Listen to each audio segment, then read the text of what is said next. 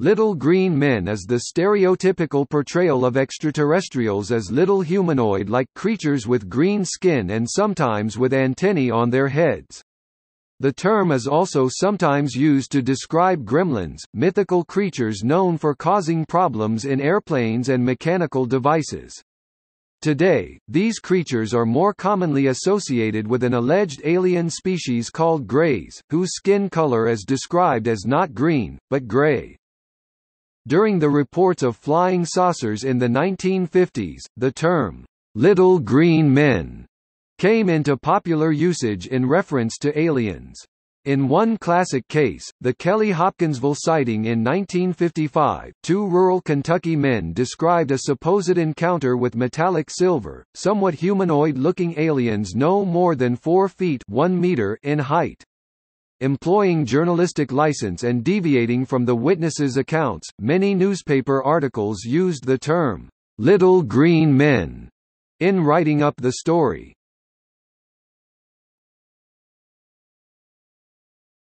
Topic: Extraterrestrial definition.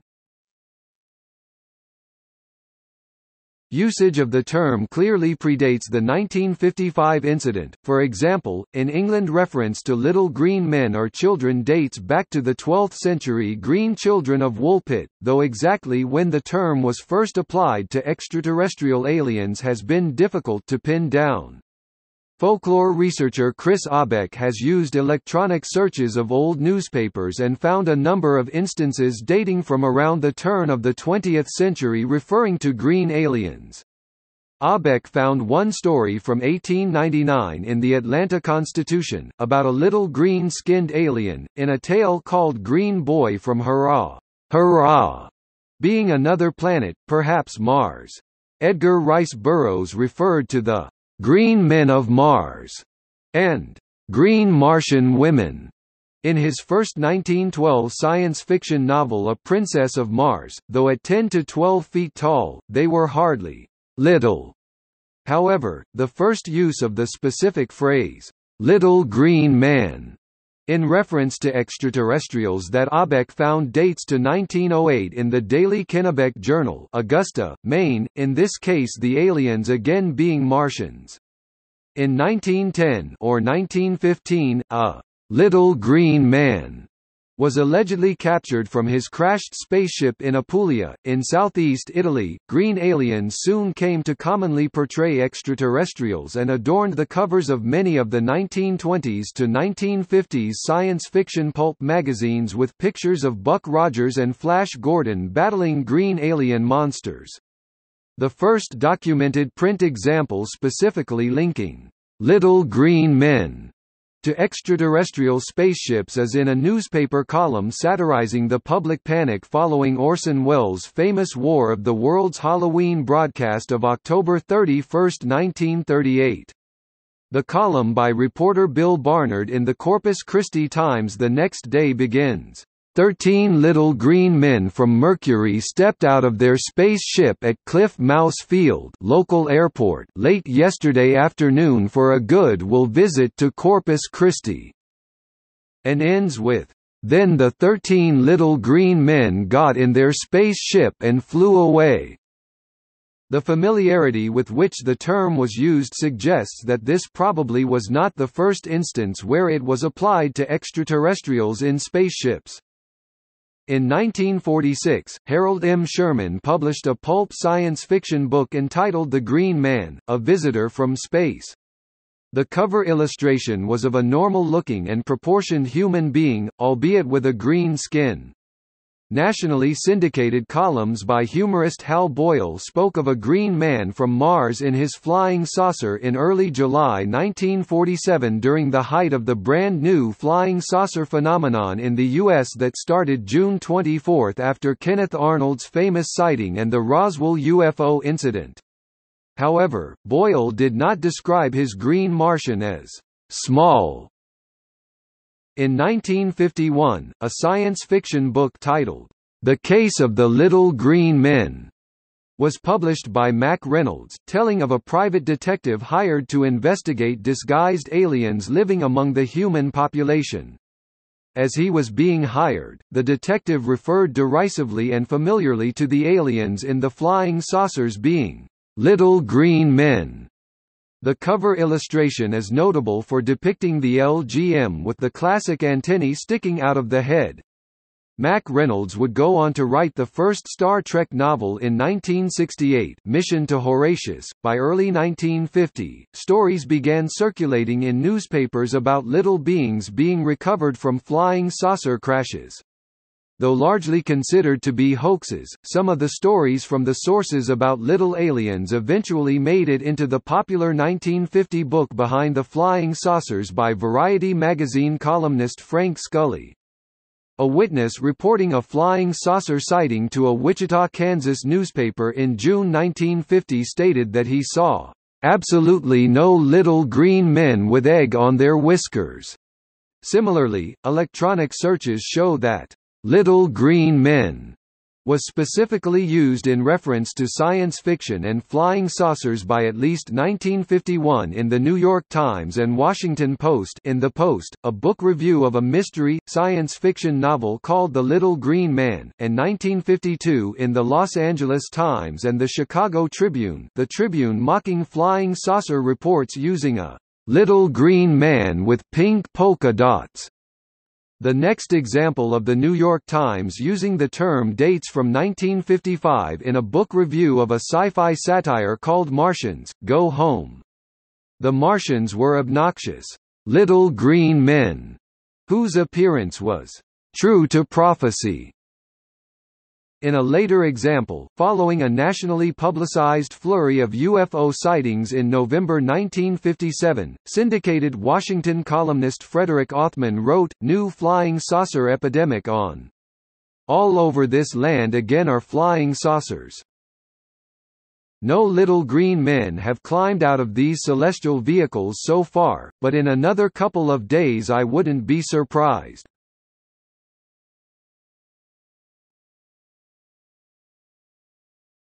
Topic: Origins and other uses. The term also shows up much earlier in other contexts. Movie gossip columnist Hedda Hopper used it in 1939 referring to small cast members of The Wizard of Oz, and admonished against drinking on the set. In 1942, the Los Angeles Times used the term in a pictorial on Marines training for jungle combat. In this case, little green men referred to camouflaged Japanese soldiers. The Washington Post in 1942 likewise used the term, little green man, in reference to a camouflaged Japanese sniper who nearly killed one of their war correspondents. Before its more modern application to aliens, little green men was commonly used to describe various supernatural beings in old legends and folklore and in later fairy tales and children's books such as goblins. Aubeck noted several examples of the latter in 19th and early 20th century literature. As an example, Rudyard Kipling had a little green man in Puck of Pook's Hill from 1906. Another example, and the earliest use of Little Green Man in the New York Times and Chicago Tribune, dates from 1902, in a review of a children's book called The Gift of the Magic Staff, where a supernatural, Little Green Man, is a boy's friend and helps him visit the Cloudland fairies. The next use in the New York Times was in 1950, and references a planned movie by Walt Disney Corporation of a 1927 novel by poet-novelist Robert Nathan called The Woodcutter's House. The only animated character in the picture was to be Nathan's little green man, a confidant of the woodland animals. The movie was never made. In 1923, a serialized romance, When Hearts Command by Elizabeth York Miller, which appeared in newspapers such as the Chicago Tribune and Washington Post, has a former mental patient who still sees little green men, and who simultaneously comments that a fellow patient conversed with the inhabitants of Mars. Other instances of imaginary small green beings have been found in a newspaper column from 1936 sarcastically discussing doctors and their medical advice, saying these are the same people who have breakdowns in middle age and start hallucinating.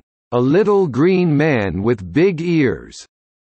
Syndicated columnist Sidney J. Harris used, "'Little Green Man' in 1948 as a child's imaginary friend while condemning the age-old tradition of frightening children with stories of boogeymen. These examples illustrate that use of little green men was already deeply ingrained in English vernacular long before the flying saucer era, used for a variety of supernatural, imaginary, or mythical beings. It also seems to have easily extended beyond the imaginary to real people, such as the reference to small actors in The Wizard of Oz or camouflaged Japanese soldiers. Similarly, Aubeck and others suspect that when flying saucers came along in 1947, with subsequent speculation about alien origins, the term naturally and quickly attached itself to the modern age equivalent. It is also clear that by the early 1950s, the term was already commonly used as a sarcastic reference to the occupants of flying saucers. By 1954, the image of little green men had become inscribed in the public's collective consciousness. Further electronic searches suggest that the term became increasingly more common in the 1960s and always used in a derisive or humorous way. The Chicago Tribune in 1960 carried a front-page story on the speculations of a Harvard anthropologist about how aliens might look and alien sex.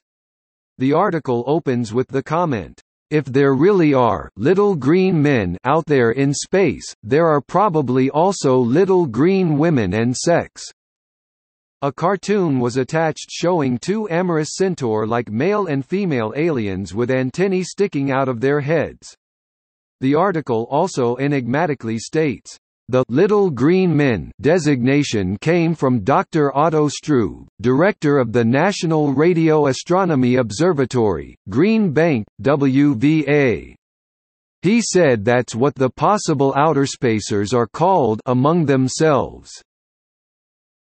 The term even penetrated into the commentary of The Wall Street Journal, First use in the journal was 1960 in an article on the Brookings Report commissioned by NASA, studying the possible social effects of the discovery of extraterrestrial life.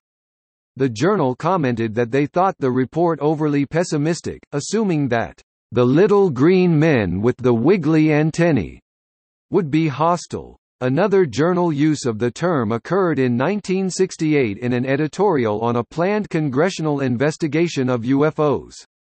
The writer sarcastically asked how they planned to subpoena a little green man. In 1969, they commented that the Condon Committee UFO study commissioned by the Air Force was a waste of money. The editorial stated that even if they did prove that UFOs were people with little green men, what were we supposed to do about it? By 1965, a little green man had even appeared in the Flintstones as a recurring character. The Great Gazoo introduced in episode 145 typified the representation of a little green man with his short, green stature and helmet with antennae.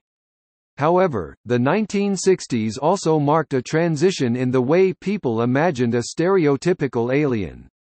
In alien abduction stories they are often small but gray beings and in Arthur C. Clarke's 2001, A Space Odyssey 1968, they are unseen.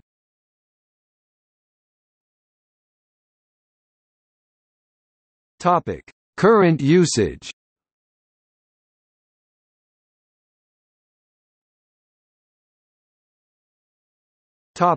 Aliens. Little green aliens and the term, "'Little Green Men' have fallen out of general use in serious science fiction circles and are typically only used by the uninformed or to ridicule the notion that aliens may exist, with a few exceptions, such as Yoda in the Star Wars movie saga. A derisive usage can be seen in the original Star Trek episode, "'Tomorrow is Yesterday' Set in 1969, as Captain Kirk, captured by the U.S. Air Force while attempting to steal film showing the Enterprise in Earth's atmosphere, calls himself a little green man from Alpha Centauri when interrogated by the base security officer. Earlier in the same episode, a rescued Air Force captain brought aboard the Enterprise tells Kirk he's never believed in little green men, immediately before meeting the obviously alien Mr. Spock who replies, "'Neither have I'". In the 1988 Doctor Who serial Remembrance of the Daleks, the line is parodied when the Doctor states that the Daleks are aliens. Group Captain Gilmore asks if he's fighting little green men, to which the Doctor says, "No, little green blobs in bonded polycarbide armor." Instead, the little green alien image seems to have migrated mainly to the world of children's media where it can still be found in abundance e.g. the small, green, squeeze toy aliens in the 1995 film Toy Story and its sequels. The Pokémon species, Elgyem, is based on Little Green Men, LGM, in its design, characteristics, and name. The Irkens from Invader Zim bear a similarity to green little men. In the space simulation game Kerbal Space Program, Kerbals are the only species in the game and are portrayed as little green men with a large head compared to their bodies.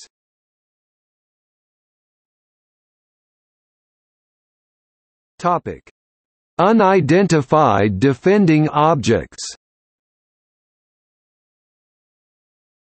The uniformed local self-defense forces, equipped with camouflage and modern Russian weaponry but lacking identifying badges or insignia, operating during the 2014 Russian military intervention in Ukraine were also called Martians or Little Green Men by the locals and the media.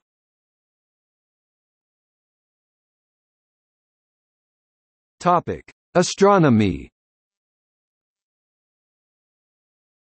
In 1967, Jocelyn Bell Burnell and Anthony Hewish of the University of Cambridge, UK dubbed the first discovered pulsar LGM-1 for «little green men» because the regular oscillations of its signal suggested a possible intelligent origin.